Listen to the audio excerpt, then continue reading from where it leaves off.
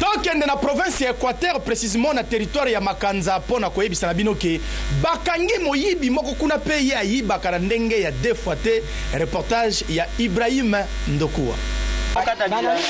Kombo na ye Pilipo awuta na territoire ya Bojala. Kasi kokamwa ye koyiba ti na territoire ya Makanza na province ya Equateur. Nzoka nde akotaki na ye pe sika na quartier oyo quartier Lukwaki na avenue Mobutu mbala moko aya koyiba jeune fille oyo ayibi ye bilamba na ye, ba sucre, ba savon, mazuiti ekenda kasi tellement que population ya kote oyo bazalaki très vigilante balandela ye après trois semaines nde baye kokanga ye ndenge bozomona moyibi yeyo mwasi na ye mpe ye wana kutu na zemi kasi ye azokipe na ye te azoyiba kaka kokamwa nzoka nde ntango population ekangi ye mbala moko batiki ye na maboko ya la police mpo la police esala mosala nango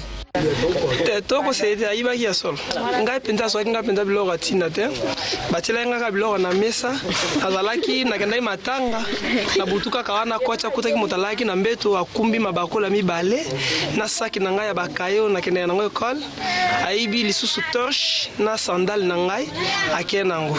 tozopesa makambo nyonso ekende kende mpo azali moyibi ayekoyiba na makanza wana aza mpe moto ya makanza te azali moto ya bujala ayaka koto nde koya yango aye koyiba yango tosengeli eh, matalita moyiba nde elongo ekende kende kende atika mpe biso na quartier mpo koyiba biso biloko nyonso mpo zambi awa ah, totikaka bandako polele makambo nyonso ezalaka eparpie ndenge te tout ça esengi akende na ye kaka mobali soki ozangi kata te elanga luka ata bafile kita nganda luka mwaye pasola mbisu somomo biloko no bala komiluka yango ndenge na koyiba eza mabe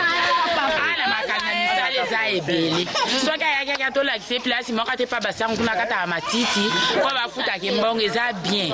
vole mpenza eza malamu te oyo mpenza eza nde moyibi mpenza eh, mais akwataki na lopango mpo afutela sikoyo aye kobebisa biso na quartier mobima kutu totikali nde na soni mpo na ngai namoni bato baye tonga na motoli mpo akufa Boye eza malamu te surtout soki oza na mboka mopaya koyiba eza musala kitoko te yo mwana mobali nzoto makasi maboko mibale luka na yo osala ata bilanga to pe peshe awa na makanza ezalaka na yango kasi koyibaka boye pardon eza mosala ya malamu te oyo eteya nango kaka miyibi nyonso koyiba botika o tolobaki te tolobi yesor